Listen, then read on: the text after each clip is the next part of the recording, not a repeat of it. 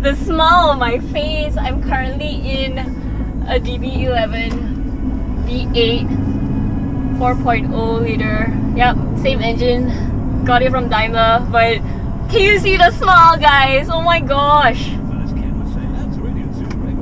I, I, I, I, I, oh my god! Please I, leave the roundabout at the second exit.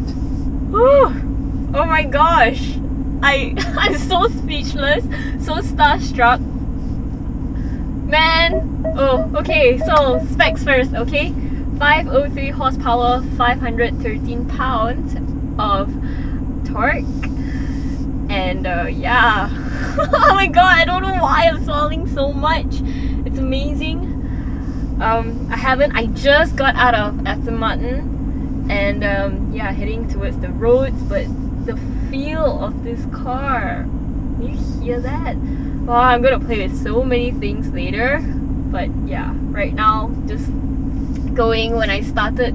Man, I'm looking at my wheel arches at the back, it's so pronounced. Woo! My gosh. Okay, okay, okay. okay guys, so being in this car, it's amazing and I'm driving in the UK. This is so unbelievable. Oh my god, such so grateful. Thank you so much. And just being in this car puts a smile on my face. I'm not sure if you saw, that was me smiling like an idiot. Yes. And after knowing so much about Aston Martin, as a newfound respect for them about their philosophy, meeting their employees, meeting Matt Becker, which is the chief engineer, uh, meeting Miles, Sorry I cannot get his name, but meeting Miles, the chief uh, designer, and as well Nikki Remington, which is the chief planning officer and vice president. And their philosophies of the car, their direction, they know specifically where they're heading to and with their second century plan. It's amazing. And I have an MX-5 NA behind me.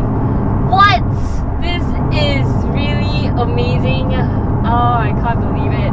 And I am supposed to go 50 miles per hour so yes a speed limit here but being inside the car I feel so snug yes it's the DB11 coupe so you can see this is my headroom I have um, even for me, I'm 160 cm and I have this much of headroom, or should I say this little headroom.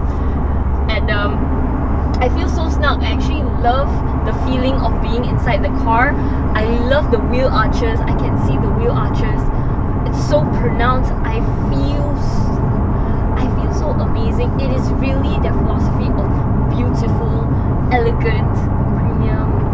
It's it's it's really something else And the feel of the car once I got it to start, once I started driving it, it's so torquey in its nature. Yeah, so the DB11 is said to be a gentleman's car. It looks like a gentleman and it's supposed to drive like a gentleman, which honestly, I feel that it is because I feel that this car can go, but you can also choose not to. It's like, I can go, I can go fast, I can make sounds, but I choose not to. And uh, you know, that's how a gentleman is really like. And I, when I first looked at the steering wheel, I thought maybe I wouldn't like it. It's weird shaped, and but now behind the wheel, I actually like it. I actually really like the feel of it. Um, yeah, and the driving dynamics of this thing, man. If I could go faster, I would, but I'm already like six miles above the speed limit, so I'm slowing down. I'm going to try out the. Uh, sports now I'm in GT I just I just changed to sport mobile speed cameras okay I'm gonna slow down a bit I think I'm the only one going abiding the speed limit but okay it's fine so yeah I'm at sport right now Sport Plus. Oh yes, Sport Plus is the one that you want. But because I cannot accelerate, you cannot hear me. But let's try downshifting.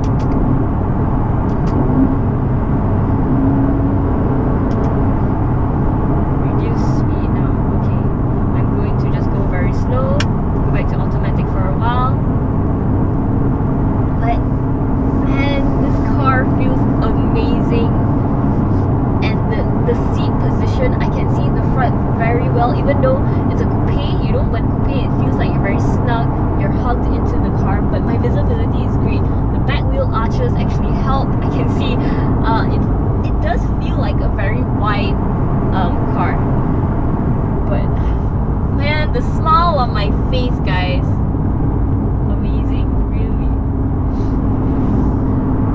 Driving this car around really gives me that sensation the a bit atas, you know. I feel a bit like I want to do better in life. I feel the need to want to to want to plan my second century plan as well. what I want to achieve in my next century. Oh my gosh. The, the driving feel of this car is amazing.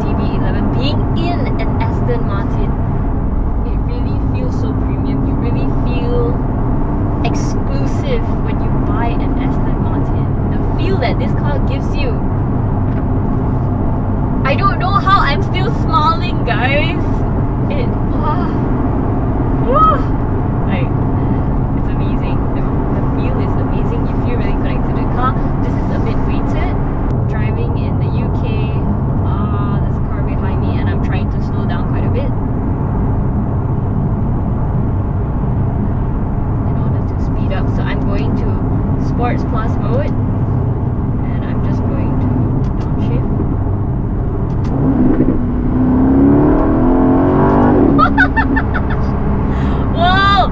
That that that wow! That feel it really can pull. But I wish that I could oh my god, I wish that I could. You hear that that raw, that V8, man, that's that's that's nice. It really is very, very nice. Oh, hang on, I just need to Woo!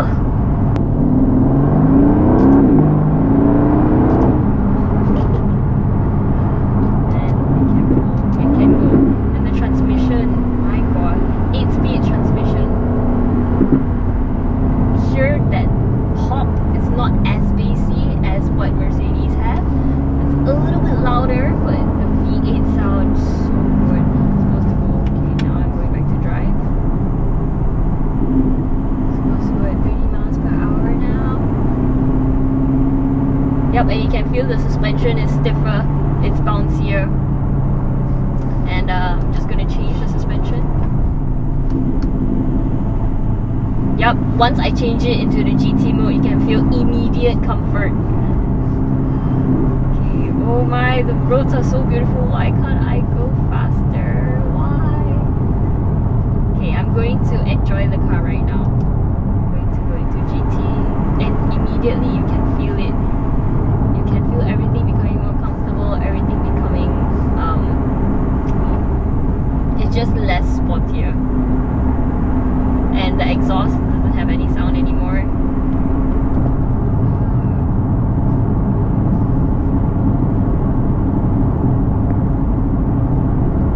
Yes, driving this car does feel like a gentleman. You do feel, you do feel that exclusivity.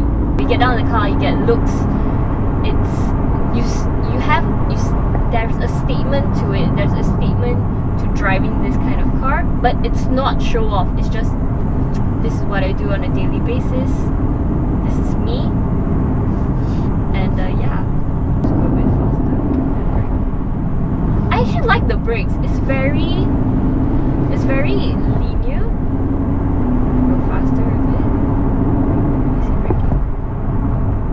very linear and then suddenly it brakes. But I actually love the brakes on this and I wish, I really wish I could go faster, but I can't.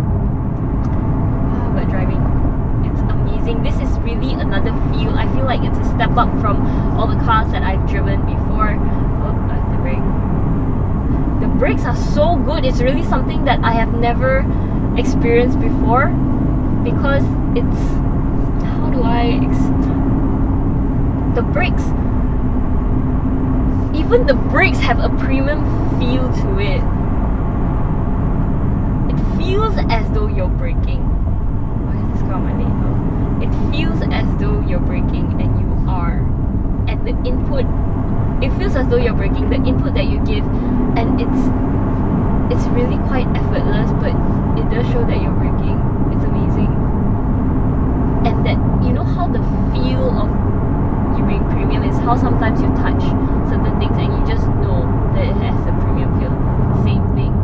Right driving this car around it's it's so perfect. I i find you know how when we review cars we find certain things that we don't like about it or we talk about how good it is but this car is making me so speechless because I mean yeah there's wind noise and um, I, I guess that's about it everything else feels so perfect and it has that little bit of fun in it as well. That oh tail comes out a bit it's like wow wow ah, that little oh and it, it's that car which gives you the security that no worries I have your back it, the tail came out a bit but it caught back pretty fast. So so so nice to drive. I've been driving it for an hour now. Very nice drive. Prepare to turn left and then immediately turn right It's onto just- Fosse Way. it's just the um it's just the the speed limit but if I had no speed limit I'm telling you it's so fun to drive and um yeah it really does feel so very very good so I driven the DB11 and I driven the Vantage back to back and um after understanding more I get why they made the cars as it is. So the GT is a Grand Tourer. As I said in my video, it's very comfortable. When you go over bumps, you don't really feel that. The wheels go over it, but um, the, you don't feel it in the car. However, the Vantage is, is a, definitely a sportier feel. And to me, currently, I love the sportier feel. But then again, that's how it's that's how it is different. That's how the GT, why the GT drives like that, because it is a GT, and why the Vantage drives like that. So it's a sportier feel for the Vantage, and the GT is more more comfortable, more sophisticated drive. Vantage definitely sportier, and I like how they differentiated um, both of them because sometimes when you go into cars, you're like, huh, like Mazda's. Mazda's handling is always very on point, very nice. But the thing is, it's the same. I'm not saying it's bad. It's just an example. However, when you go into Aston Martins, it's very distinctive that a GT drives in a certain way and a car like the Vantage drives in a certain way. And I think that's that's very interesting. It's just different. And uh, yeah, DB11 has own character, Vantage has own character.